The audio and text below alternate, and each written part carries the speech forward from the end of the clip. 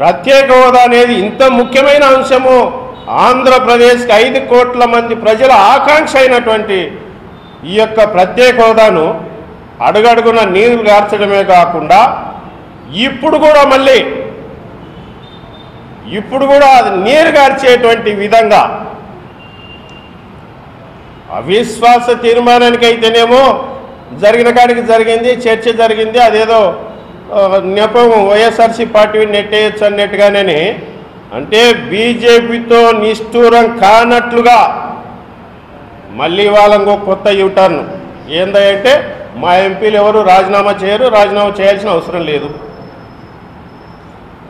ఒక తిట్టిన ఇరవై ఐదు మంది ఎంపీలు రాజీనామా చేస్తే అరే షేక్ అవుతుంది యావత్ భారతదేశం పార్లమెంట్ అంతా కూడా దీనిపైన దృష్టి సారిస్తుంది. ఒక్కసారిగా ఇరవై ఐదు మంది ఎంపీలు రాజీనామా అంటే అంత ఆషామాషి కాదు.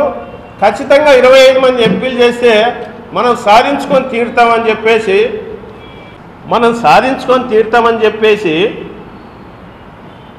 ఒక తిట్టిన నూట యాభై మంది మనకే మద్దతు ఇవ్వటానికి తెలియజేయటానికి వచ్చినటువంటి ఎంపీలందరూ కూడా చెప్తుంటే జగన్మోహన్ రెడ్డి గారు ఆల్రెడీ ప్రకటించినారు.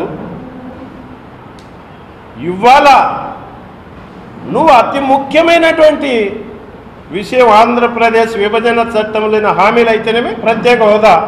సాధించుకునేటువంటి విషయంలో మళ్ళీ ఒకసారి నువ్వు వెనకడిగేసి ఈ రాష్ట్రాన్ని మోసం చేయడానికి పూనుకున్నావంటే చంద్రబాబు నాయుడు మనిషిని వాడు ఎవరు కూడా నిన్న ఏదైతే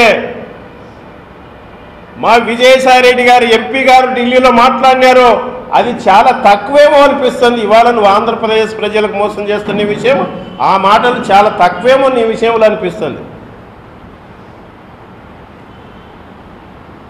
ఎందుకంటున్నావంటే అంత ఆకాంక్ష విషయంలో నువ్వు మాటలు చెప్పి చర్యలు తీసుకునే విషయంలో వెనకడిగేస్తున్నావంటే ఆ రోజున అధికారంలో ఉండేటువంటి అంటే జగన్మోహన్ రెడ్డి గారు అధికారం కొరకు వెంపర్లాడడు ఆంధ్రప్రదేశ్ ప్రజల శ్రేయస్య ముఖ్యమైన దానికి ఒక చిన్న ఎగ్జాంపుల్ మీకు చెప్పబోయేది ఏంటంటే అంతకుముందు కూడా చెప్పినా అయినా సరే రూలింగ్లో ఉండేటువంటి బలమైన పార్టీ కాంగ్రెస్ అధినాయకురాలు సోనియా గాంధీ. ఈయన కూడా ఒకసారి మనసు మార్చుకొని జీ హుజూర్ అంటే చాలు. ముఖ్యమంత్రి పోస్ట్ ముఖ్యమంత్రి అయ్యేవాడు జగన్మోహన్ రెడ్డి ఆ రోజుల్లోనే. కేంద్ర మంత్రి అయ్యేవాడు అన్ని పదవులు వచ్చేటివి కేసులు కూడా లేవు. అటువంటిది ప్రజల కొరకు వదులుకొని దృఢ సంకల్పంతో ఎవ్వరు కూడా అంటే ఆ రోజుల్లో నేషనల్ లెవెల్లో ఉన్న ప్రతిపక్ష నాయకులు కూడా ఎదిరించలేని రీతిలో ఇది ఇటలీకి ఆంధ్రాకు పోరాటం అని చెప్పేసి ఎదిరించిన ఏకైక నాయకుడు జగన్మోహన్ రెడ్డి గారి సంగతి ఈ సందర్భంగా గుర్తు చేస్తున్నా. అటువంటి వ్యక్తి వాళ్ళ నాలుగు సంవత్సరాలు బట్టి ఎవ్వరు కూడా ఈ బీజేపీ ప్రభుత్వం పైన అవిశ్వాస తీర్మానం పెట్టడానికి సాహసించలేదన్న సంగతి మీకు ఒకసారి గుర్తు చేస్తున్నా.